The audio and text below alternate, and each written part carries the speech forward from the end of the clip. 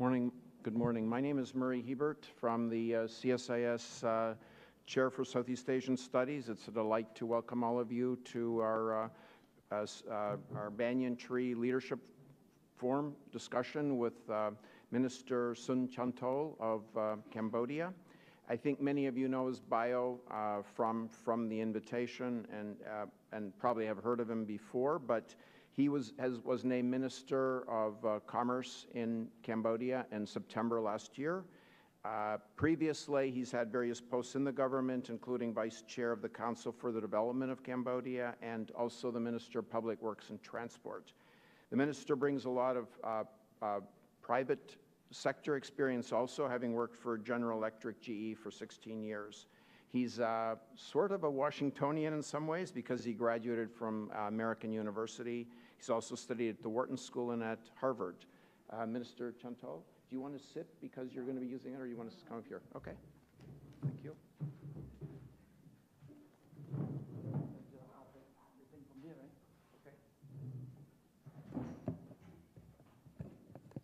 Great. Uh, good morning. Uh, first, uh, let me express my appreciation to CSIS for inviting me to give a talk uh, this morning.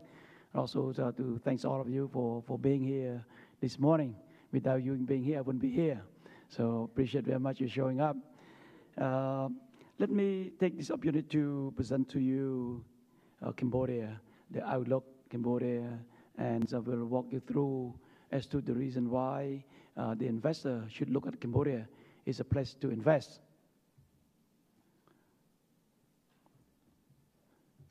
So, so for those of you that never been to Cambodia, Cambodia is located in the heart, what I call the center of gravity for Southeast Asia. So you can see our country uh, located. Uh,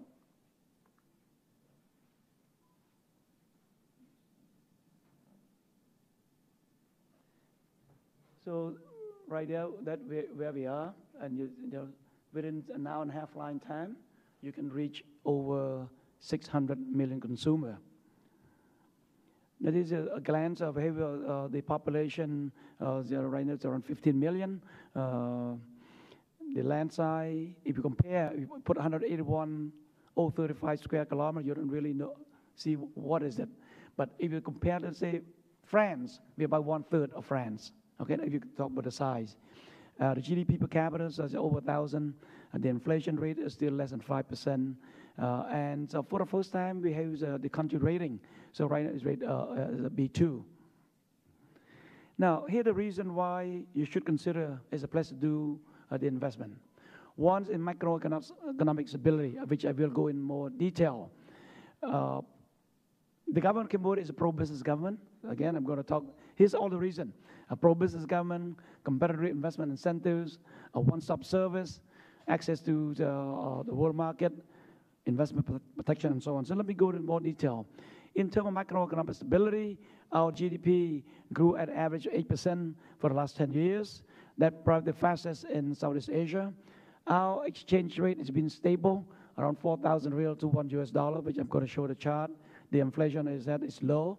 Our debt to GDP ratio, it's very low. It's very low. It's you know the rule of thumb around 40%, but we only are 32 plus percent uh, debt to GDP ratio. And if you compare this, debt to GDP ratio for a country in Europe, for example, uh, Greece, 177%. I think Japan, probably 200%. US close to 200%. So we still have room, still have room to borrow uh, for investment into infrastructure, for example, productive investment rather than borrow for consumption. Our reserve over 3.6 billion US dollars.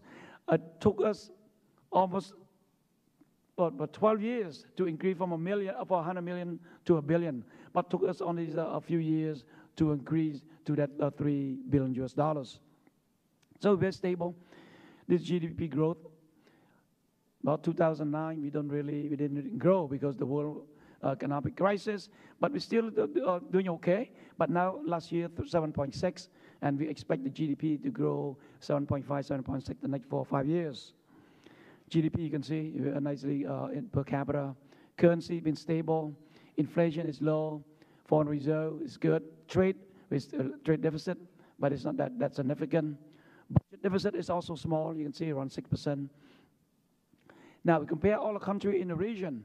Uh, Cambodia, if we take out, take out the 2008, 2009, we talk about the last 10 years, 9.8%. We take this, it's very, very fast, fast growing economy. Pro-business government, is important. We consider uh, private sector is an engine of our economic growth. The accessibility to Kim government is very easy. I will give you my business card with my mobile number in there. You can call me, you can SMS me, you can email me, and I mean it. I mean it. But sometimes when you call from overseas, it doesn't show the number. It shows only 001. And sometimes I cannot answer the phone. Either I'm in a meeting, cabinet meeting, I can't answer the phone. I don't know who to call back because show shows 001. Please text me. Chanthol, please call me back. Then I definitely call you back.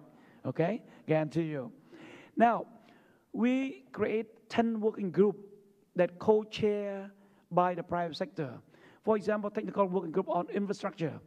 So when I was the Minister of Public Transport, I co-chair that technical working group, where private sector is a co-chair, where technical working group on banking, on taxation, agriculture, tourism, export processing. So with 10 technical working group that meet on a monthly basis. So any issues that the private sector may have and want to resolve, they go resolve that technical working group. If the technical working group cannot resolve issues raised by a private sector, we will escalate this to what we call the government private sector forum. And this forum is chaired by our prime minister.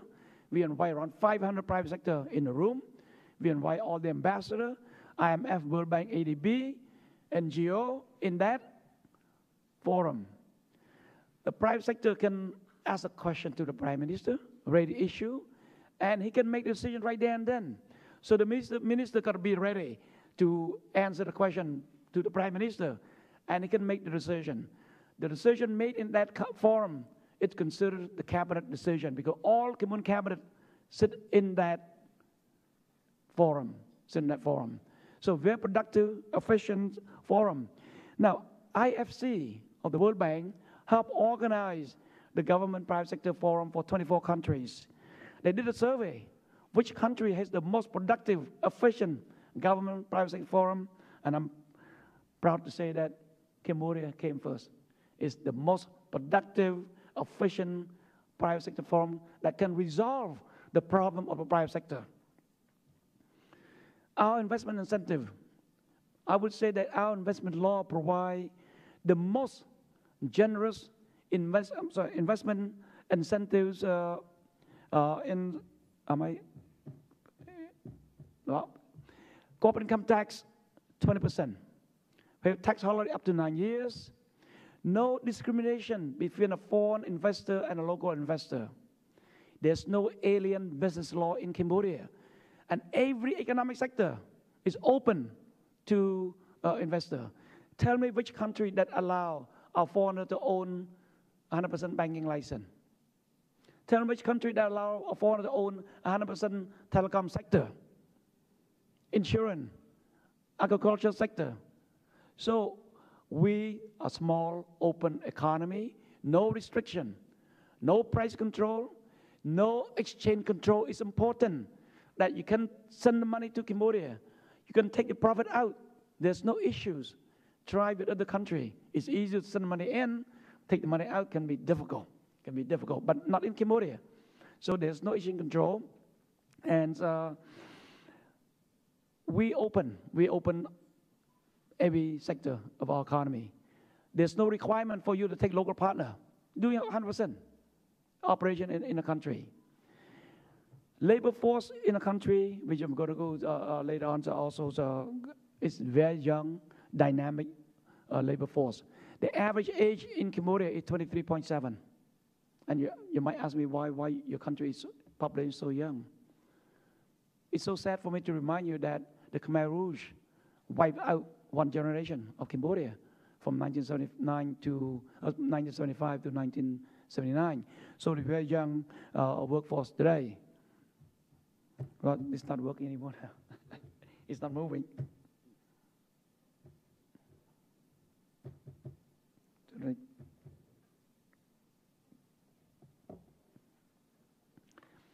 Anyway, so, so, so the investment incentives, okay. Can you move to the next slide?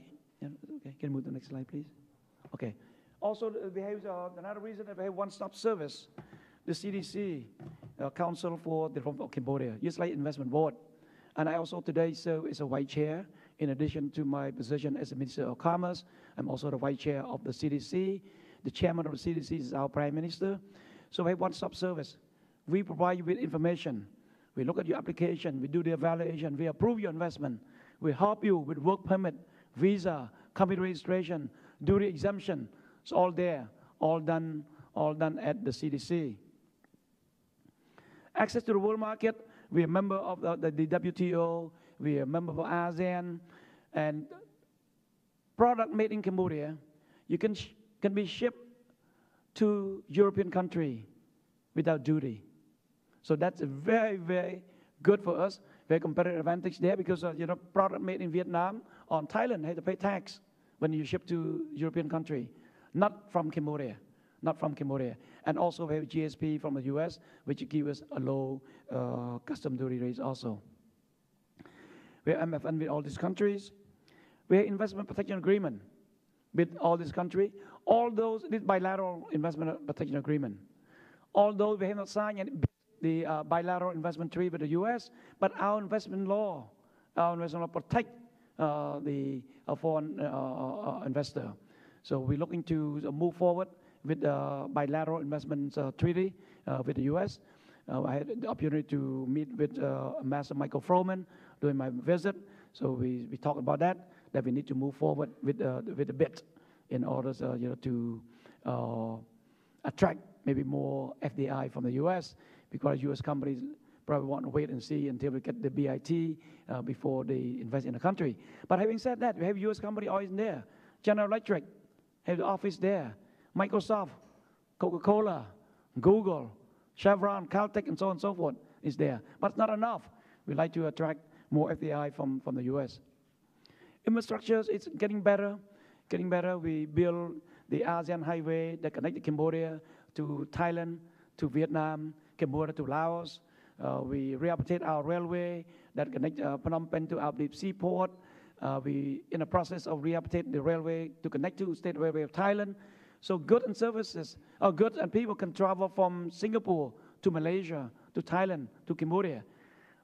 That's the first, first phase. Second phase would be to build a spur from Cambodia to Vietnam. Then you can ship goods or people can travel from Singapore, Malaysia, to Thailand, Cambodia, Vietnam, China, Kunming, and connect to Europe. That's part of what we call Singapore Kunming Rail Link Project. We upgrade our seaport in Sihanoukville, allow big, bigger ship to, uh, to dock at our, our, our, port. We build new container port in Phnom Penh. We upgrade our airport, upgrade our airport. So infrastructure is a lot better than, uh, than before. We lay fiber optic across the country power plant being built. This, you can see the, the map of Cambodia and all the road. So we build a lot of uh, road that connect to, to, uh, to Vietnam. Uh, this side also, this side Vietnam. Uh, uh, connect to Thailand and to, to Laos. You need to do the integration within the country and integration with our neighboring country. This, the port, this is uh, the international port. we also allow private sector to build a port on a BOT basis. This railway, mentioned this uh, the, the, the, the line that's already been rehabilitated from Phnom Penh to our deep sea ports in Sihanoukville. We're going to move to rehabilitate this line to connect to Thailand. This missing link, 48 kilometers, uh, was destroyed during the war, but now we almost complete that link. And then uh, Thailand will complete their section also of six kilometers. Then all the way can come all the way to Sihanoukville port. Then the future is to go through Siem Reap, this uh, the home of Angkor Wat, the wonder, uh, one of seven wonder of the world, and go along the, uh, the, river here, and this connect to Vietnam, and this connect to, to Laos. So that have special economic zone. 33 has been approved, but 11 in operation. Uh, the special economic zone is good that they have water, supplies there, electricity is there, wastewater treatment plant is there. It's one location where custom where all the control has been done at that location. So it's easy for investors to put the factory there and everything is there in one stop. The special economic zone mainly located along the Cambodian-Thai border, uh, so that uh, people take advantage of Cambodia's uh, EBA from Europe, GSP. They put a factory uh, uh, near the border uh, so that you know the workers, the product can be shipped out back from Cambodia easily to Thailand and to, to Vietnam. I mentioned to you, within uh, one and a half hour flying time, over 600 million consumers that you can serve. We have sound financial so behave, uh, we don't have a problem with uh, economic crisis. 97, we didn't have a problem. Uh, 2008, uh, the financial uh, crisis, again, Cambodia didn't have any problem with uh, bank uh, sector. We have a lot of banks, 35 banks, everyone can get a license, you know, 35 banks. But I think that sector will go through consolidation. I don't think that uh, Cambodia uh, can have 35, 30, you know, 35 banks. The market price small. You can see some consolidation later on. Deposit, 7 points plus billion. The uh, credit to private sector also about the same, uh, same size. We have stock exchange, but we have only one company listed on stock exchange. To start with, last Monday, last Monday, second company uh, was listed. So we hope to list more and more company on our stock exchange. Resource, oil and gas, oil and gas, mineral, bauxite. Uh, so we had opportunity to meet with Chevron during my trip also. They have Block A in Cambodia. Uh, they uh, do exploration there, and uh, definitely the reserve there, the reserve there. So we're going to proceed with the discussion, negotiation with Chevron to conclude that project in order for us to do the extraction of our oil uh, on the coast of, uh, of Cambodia. Population, you can see, again, very young, extremely young population. Looks 65% uh, between 15 and 64, 64 years old. Very young, dynamic workforce. This investment trend. Approved by country, you can see US, very small, but we see China, Korea, EU, Malaysia, Vietnam, and other countries. So I hope, and we try to expand trade and investment, we hope that U.S. company will invest more in, in, in Cambodia. Again, this uh, investment by, by sector. I, I think we can, uh, this you can download. I think CSIS uh, can uh, post it and then they can, everyone, this presentation can, can, can download. We didn't print the presentation, try to save a few trees from being cut to make the paper. So, so investment opportunity, we have agricultural sector, labor-intensive industry, but we try to move away from a labor-intensive industry to a semi-skill. So we talk about food processing, light manufacturing, transportation, ICT, energy, human resource development, that area uh, that we like to, to attract FDI from. Uh, for, for. Again, back to the reason to invest in a country. Now, I'm telling you all the good reason, rosy picture about Cambodia. They said, it's impossible. It got to be something that, you know, start working, you know. Well, let, let be honest, uh, corruption is, is one issue uh, that exists in Cambodia, but corruption exists in other countries. The question, what are we doing about it? And are we doing something about it? Yes, we're doing something about it.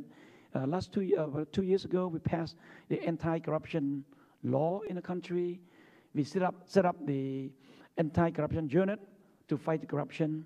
The government official had to uh, declare the asset the asset, and when they take the possession, had to declare the asset again when they leave the possession. So, and then put in envelope, seal it. So the anti-corruption unit, the uh, ACU, can open envelope anything, anytime. That okay, we suspect that official is unusually rich. He can open and say, look, you declare you have one car, now you have 10 cars. we had the money to buy 10 cars, additional nine cars. So this is the kind of thing that we, we, we are doing. Now, another reason, uh, another uh, thing that we do is that we try to automate a lot of manual process to, uh, you know, to automate that. For example, at my Ministry of Commerce, today you need the CO, certificate of origin, in order to export the product. You come to my ministry, give all the paper, so we key in all the information for you. So there's interface between the government official and the private sector. That you leave room for them to negotiate leave room for them to ask for facilitate payment. So now I put that online. Hopefully by September, this system is going to be online. You don't have to come to the Ministry of Commerce. You can submit your application, the information online. You can print your own CO at wherever your factory located. We just review the information online, we release it. We just deduct the, the fees, the $30 or $38 fees from your bank's account, and there you go, you get your CO. Company registration. Today, I had to go to my ministry also to ask for the name. So, look, I want to use this name, ABC Company. Then my staff will tell you, come back two days from now. We had to check for you. So you go away, you come back two days later, said, look, I want to use XYZ. The guy said, come back two days from now. Then, well, XYZ has been used already. Come back again. "Oh, I, want, I want to use Donald Duck. "Oh, okay, come back. Wow, Donald Duck's been used already, but hmm, if with a prop, with the right price, I think I can tweak it. You know, this is the kind of thing that's happening. Again, I gotta tell you reality, but I'm doing this online also. So we're gonna company online. So ABC computer comebacks been used, XYZ has been used, Donald's been used. So you do it online. So once you cut down the interface between the private sector and a government official, you can cut down corruption. In addition to that, Cambodian government raised the salary of civil servant 25% every year. I bet you the private sector would love to get even 10% e- every year, right? We do 25% every year. Again, to give them, uh, you know, additional salary, a proper salary, so they don't, uh, you know, resort to the, uh, corruption. We also allowed to take some of the fees, for example, the certificate of origin, CO. We charge $38 to the private sectors. The finance ministry and the anti-corruption unit has agreement with the Ministry of Commerce that you can take probably 10%, keep 10% of that amount. And then you dole out as a reward for good work performance to your staff. So now we have all that money put in the pool and we distribute that to our people. But we tell them, fine, you can get that money, additional bonus, but when you come to work, we have to scan. You got to scan your finger there, what time you arrive, come to work, what time you leave. You don't just don't come to work, but at the end of the month, said, we have my bonus. Before we don't have the system, so every we don't, we don't see them. They show up at the end of the month to collect the bonus, but not anymore now. I got a finger, you got to got to scan that. So that the thing that we we doing to to fight the corruption. Another another thing, logistics costs in Cambodia is expensive. All those we do a lot of infrastructure, but still uh, is, a little more expensive in terms of logistic costs in Cambodia. The electricity also more expensive than Thailand, than Vietnam. But we're building power plant now, and the next few years when that come online, the price of our electricity will come down. Today we buy some from Vietnam, we buy some from Thailand, we buy electricity from Laos. But five years from now, we probably export our electricity back to Vietnam because the grid there already. Okay, so, so these some of the issues that, uh, that I'd like to, to, uh, to be upfront with you. Uh, minimum wage issues, a few months ago, you see a lot of demonstration for the worker, the factory, or the, the garment industry, textile, that asked to raise the minimum wage from $80 to 160 is in one go. They want double overnight. And when the, the owner and the government you know, did not agree to the demand, they do demonstrations, some violence doing demonstrations and so on. So now with the increase from 80 to 100, and we are working with ILO, International Labor Union, uh, uh, Organization, work with the World Bank to sit down and do scientific calculation. What the number should be? Is it 160 or should be 200? Or should be 157, for example? Before we just plug the number of the air, you know, oh, 80 is good, oh, 100 is good. But now we've got to do properly, scientifically. Is it 180 or 160? And when we do this, we want to make sure that Cambodia, is still competitive. You cannot price yourself out of market. If you do that 160 or 200, then look, I'm going to go to Myanmar. They pay 57 dollars a month. Okay, so this is the kind of thing that we need to look at at both all angle, if you will. We must look the whole forest, not the tree. So that Cambodian government has been doing that right now, trying to resolve the labor issue, uh, the minimum wage, and so on.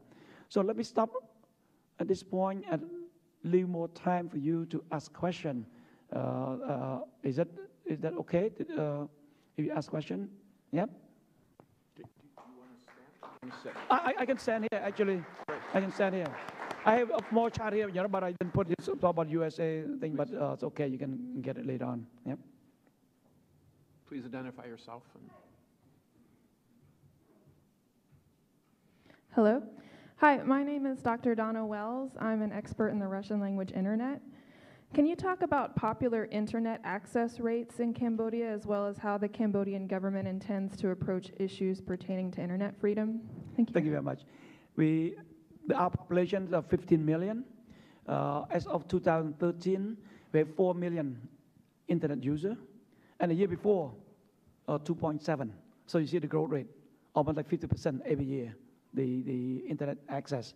Okay, so it's important for for uh, our young population to have access to the internet, and uh, we in the process of drafting, finalizing e-commerce law okay? Because we're going to move to the e-commerce, to the digital economy.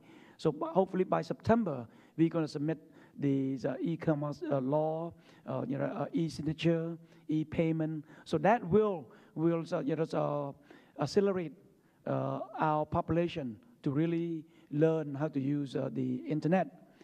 we had a meeting with PayPal, with you have internet, you have you know e-commerce, you got to have uh, the payment system. So we're going to talk. We always had a meeting with PayPal. We have a meeting with uh, different uh, banks and so on to get ready for the e-commerce when it comes uh, online. So we are moving, we push uh, in that direction. a lot of people using social media in Cambodia, the Facebook and the Twitters and all that. we, our ministry also have a Facebook, so please follow our Facebook www.facebook.com slash moc.gov.kh. MOC Ministry of Commerce, government, KH Cambodia. We had, uh, you know, we set up about seven months ago, not eight months yet. We have already 78,000 fans. Not bad for seven months. So to show you that, yeah, people interested in uh, the information. So the digital media, our young generation don't watch TV that much but they go through social media. So it's important that Cambodian government push and also know how, how to play the social media game. I hope I answered your question. Yep. Yes, ma'am.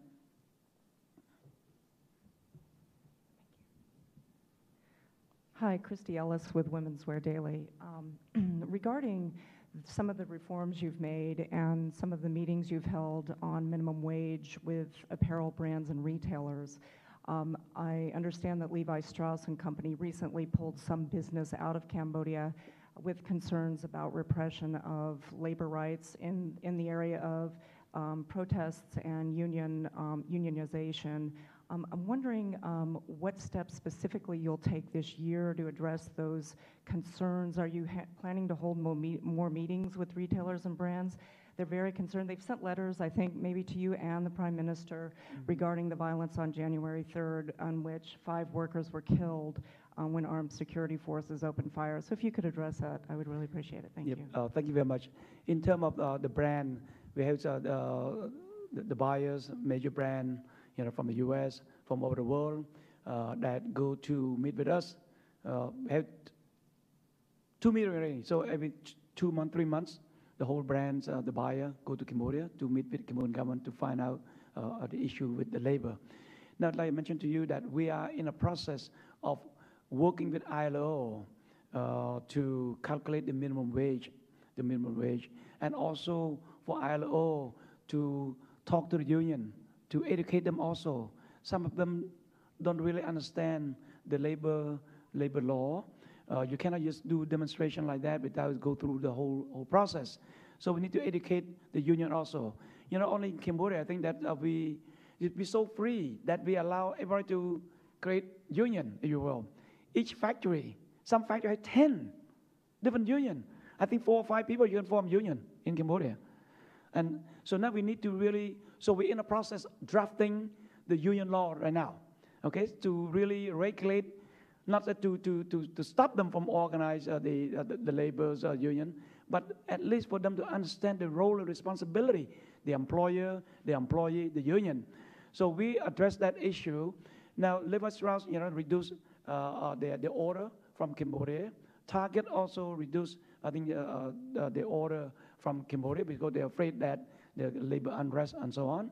But so far, since the, the, the, the incident in January, is practically calm, uh, safe, no, no issue. It's uh, unregrettable. You know that, that uh, the five workers was uh, were killed during the violence demonstration. And when I said violence, it's really violent. They uh, they burn uh, factories, and it is uncalled for. Actually, the whole from both sides. Actually, from both sides. So I hope that we will not have this kind of uh, violent demonstration uh, in in this uh, this sector. Yeah, when people understand that Cambodian government doing something, before they don't understand it, look, we asked for 160, you guys keep said 100 or 80. You don't tell us reason why you cannot do it. But now we go through the whole calculation with them. So with that, I hope they understand and uh, will not resort to, to, to strike or violence, uh, violent strike. But you know, all, all those our labor, again, the cost probably more than, than Myanmar. But Cambodia is the first country that adopt ILO. We have Better Factory Cambodia. That ILO is there, has an office that go and inspect the factory for worker condition, worker right, no child labor, no sweatshop. We the only country that respect that. So the buyer also look, we're willing to pay more. You know, so the gap and the like, and then we, we like to pay more for the product made in Cambodia because we know that the labor standard is respected. So the, that's our competitive advantage by having the ILO and we comply by uh, comply with ILO and comply with BFC Cambodia. I hope you answered your question, ma'am. Yeah, but we continue to have a dialogue. I meet, I sit with them also. The meeting chaired by our Deputy Prime Minister, uh, Prime Minister Keat and I also always sit in the meeting with, with the buyer uh, to, uh, to listen to them, uh, take their concern, and then to, to work among ourselves, try to resolve that.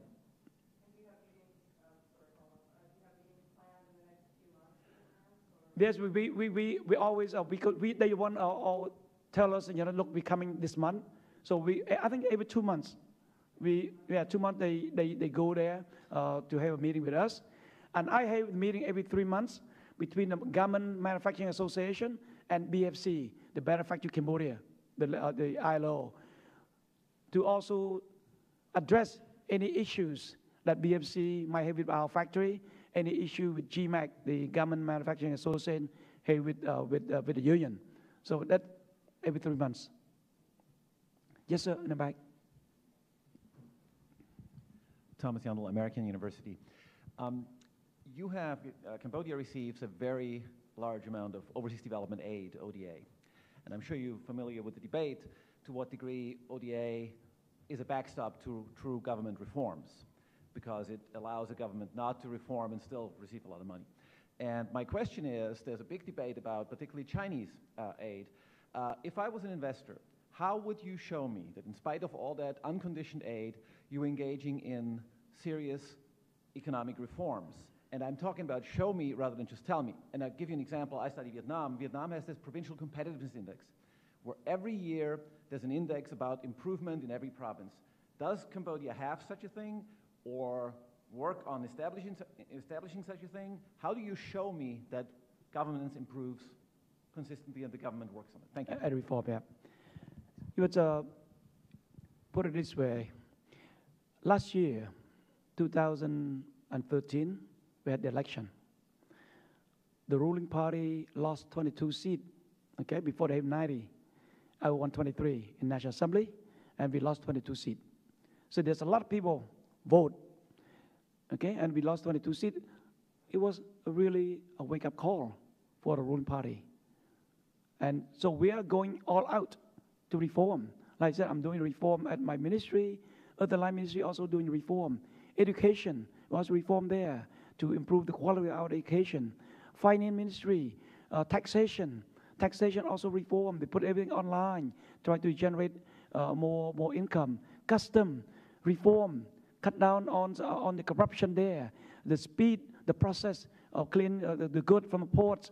CamControl, my my uh, my unit that also inspect uh, the food safeties and export like that. We stop doing 100% inspection. We do risk man- management, 2%. So this is kind of reform that we're doing at, at, the, uh, uh, at the level of the line ministry. And the prime minister made it very clear. Each, each line ministry must go through the process and eliminate red tape reform. He who reform will lead the country 2018 the election. So we, we, we see that it's important. If we don't reform, 2018, our party might, might not win. So it's, it's important. It's a major wake-up call for us, and it's, it's a good thing for Cambodia that the CPP, the ruling party, lost some seat. it shows that people want change, people want reform, and we listen. We listen to the voter, and that's why I'm going all out at my ministry. I revamp completely, restructure, reorganize the whole Ministry of, of Commerce that never been done for the last 20 years. Never. So I done that reform. Okay, a different organization, assign the people to uh, right people to right place, and you assign the people, you promote people that know not who they who they know, but what they know. So that's what I'm doing at my ministry. Before you just the minister had the power to appoint someone to position. I don't do that. I announce the open position at my ministry. Then the staff can submit their application or resume, and each one of them had to interview with my seven deputies. Each one of them score them, rank them, put in the envelope, seal it, don't put their name, give me the seven envelope. I the last one to interview the candidates.